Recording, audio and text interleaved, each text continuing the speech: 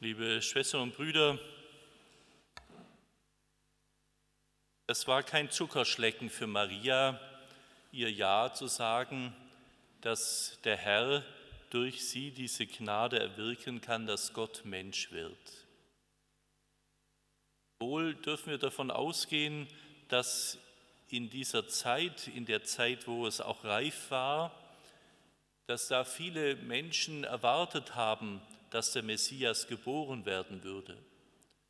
Und dass auch diese Geburt durch einen Menschen es erwartbar war und vielleicht viele auch sich erhofft haben, wird er in unserer Familie geboren werden. Und da war es klar, dass es eigentlich als Davids Sohn nur in dieser Familie des Davids hat sein können, in diesem Stamm.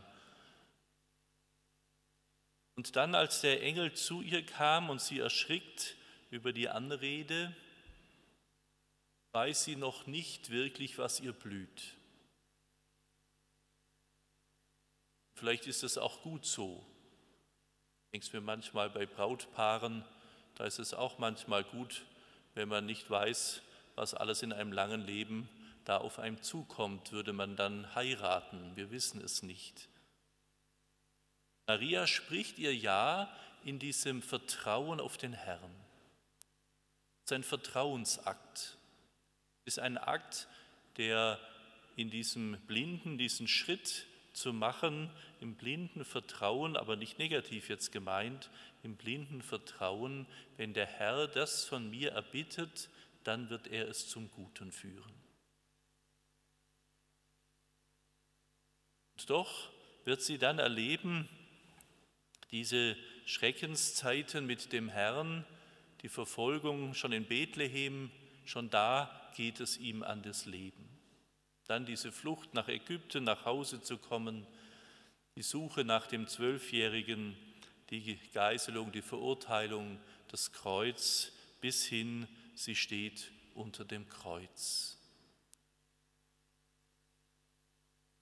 Und unter dem Kreuz ist auch sie diejenige, die weiß, dass dieses nicht einfach eine Schande ist, die da passiert, ein Fehler, sondern sie weiß, dass dieses, diese Gnade Gottes sein Machtanspruch ist.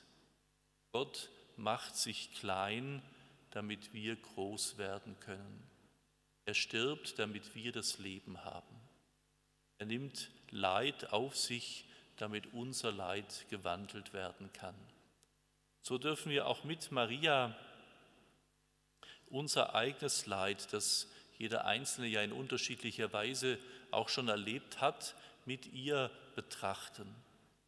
Das hilft uns dann auch zu schauen, wie geht Maria mit diesem Leid, mit diesem Unrecht, mit diesem Schmerz um.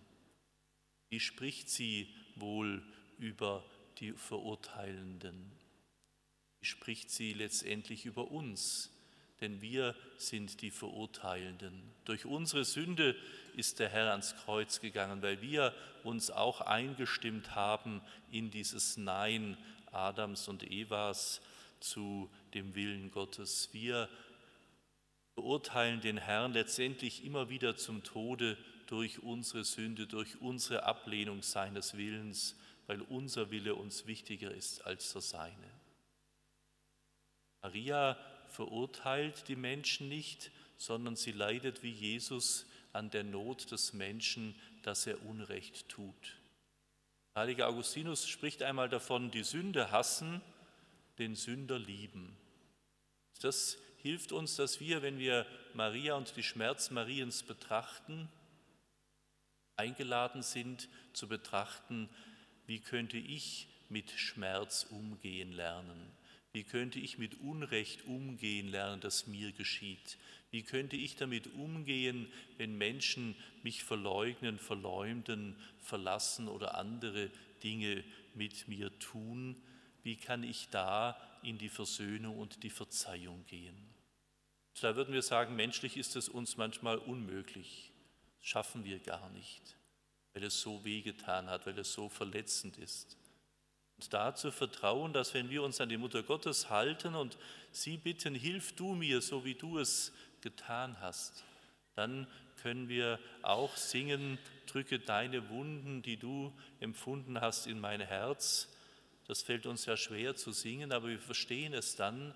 Mit Maria werden wir in uns auch eingepflanzt, diese Weise, dass wir in die Versöhnung, in die Verzeihung gehen können, dass wir diesen Schmerz mit auf den Altar ans Kreuz legen, dass dadurch neues Leben gestehen kann.